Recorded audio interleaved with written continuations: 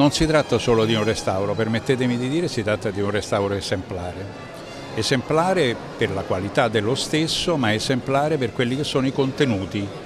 che noi andiamo a mostrare alla cittadinanza. Si tratta di un intervento di restauro, di messa in sicurezza, di adeguamento eh, impiantistico, anche di consolidamento ed è nella filosofia anche del grande progetto UNESCO, vale a dire interventi di restauro e di valorizzazione, ma soprattutto di anche eh, utilizzo poi per attività culturali, destinazione ad attività culturali e di apertura alla città.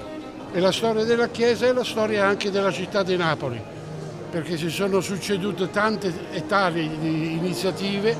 che di fatto poi hanno rappresentato un gioiello, un gioiello della, della nostra città. E adesso sarà a disposizione per tutte quelle necessità, anche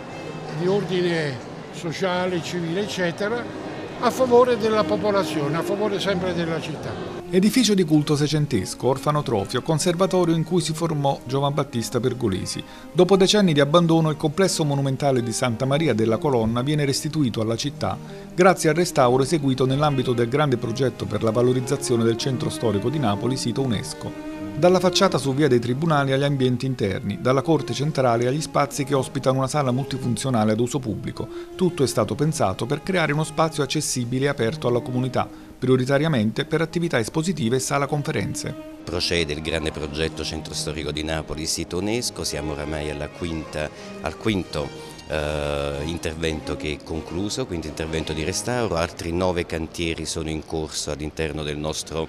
centro storico, altri interventi partiranno a breve. Secondo me i tempi sono stati anche rapidi in base alla lentezza con cui abbiamo avuto il finanziamento, poi il restauro di una chiesa è un lavoro complesso che richiede il contributo di tanti, la sovrintendenza, le istituzioni, la curia come in questo caso, ma è un altro risultato per la cultura e per il recupero della storia monumentale della nostra città. Poi mi piace pensare che questi saranno luoghi aperti, aperti alla collettività, aperti soprattutto ai giovani e un segnale forte l'abbiamo dato anche ieri, di cui la metà dei giovani destinati al progetto appunto cosiddetto Garanzia Giovani, a cui noi diamo sempre di più però una grande valorizzazione sociale, saranno destinati proprio al patrimonio culturale della nostra città quindi una circa sessantina di giovani che può significare una ventina di luoghi che oggi sono chiusi, luoghi storici e saranno aperti, quindi i giovani diventano protagonisti del riscatto di Napoli attraverso la cultura in piena sinergia con le istituzioni locali.